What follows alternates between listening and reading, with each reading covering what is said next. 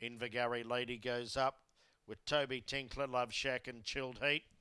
Second line, Prater's Promise, Love Shack, Chilled Heat, Sino Mirage.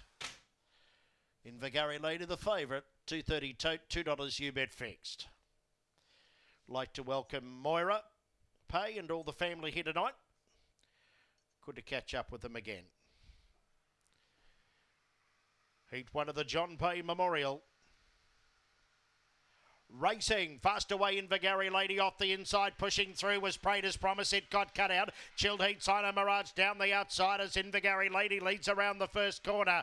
Midfield was Toby Tinkler, followed by Drop Short. Well back in the field, Prater's Promise and watch out Reynolds over the back. Invergary Lady two lengths in front of Chilled Heat. Love Shack goes to third. Then Sino Mirage on the outside. A break in the field to Toby Tinkler around the corner. Invergary Lady went into another gear. She dashed away. Too good Invergary Lady wins by four lengths. Second, Chilled Heat. They go through to the Albion Park final. Third was Love Shack, followed by Sino Mirage. Then came Drop Short, a break to Prater's Promise.